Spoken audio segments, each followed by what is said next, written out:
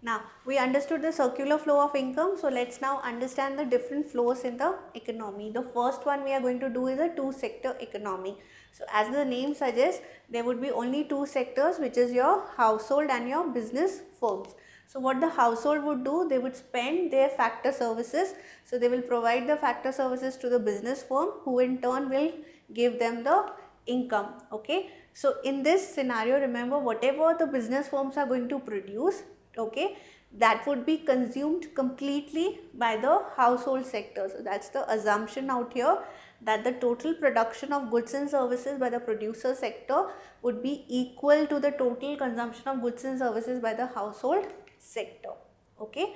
So we have the product market and the factor market. What is product market? Where goods and services are sold and bought okay? When i'm talking about factor market it is about factor services now remember whatever is the payment made by the business firms that is the factor payment for to the household for providing the factor services that would be the factor income of household sector. There would be no other income. That would be the only income okay? And whatever they are earning that is the household sector is going to earn they are going to spend. That is they are going to expend. So the consumption expenditure would be exactly equal to the income of household sector okay?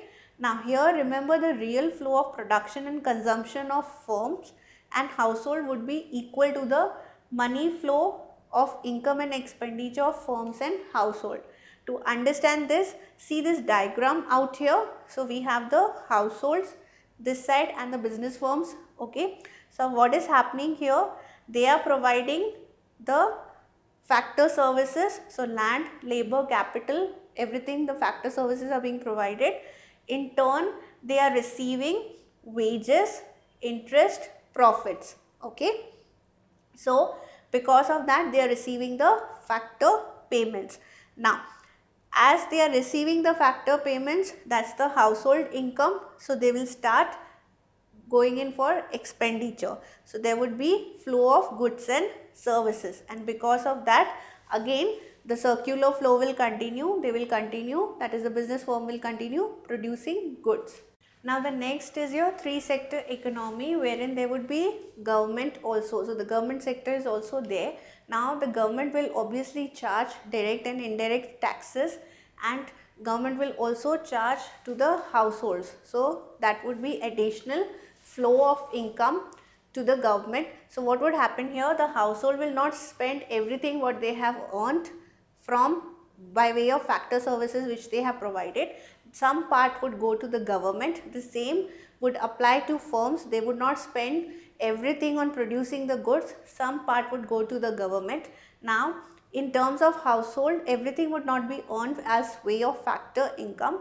Something or some income would come from wages, salaries and transfer payments. Okay. So, there would be also capital market in place because there would be savings which would be done by the household. So, from capital markets the firm would also re be receiving the money to produce goods. Okay. Now remember apart from that there would be government purchases or subsidies which would be provided to firm and as usual the goods and services would be provided to the household okay? So this is how the three sector economy would look like. Now if i have to see the four sector economy this is known as a complete open economy as such. So here we got additional things which is imports and exports. So how do this look? A bit complicated but if you look at the diagram carefully you will understand. Now apart from government we got foreign sector also. So there would be foreign remittances because what would happen the household would export manpower. Okay they would provide the services even to foreign sector. So the foreign sector would go for foreign remittances. They would give the cash out here right? Now in terms of firms they would be doing the exports. So there would be receipt of money from exports. Whatever they are receiving they would receive it by way of exports. Then in case if the firms are importing they will see the flow of income or cash going by way of payment from imports. So this is how an open economy exactly looks like. Okay, so these were the circular flow of income when we have different economies in place.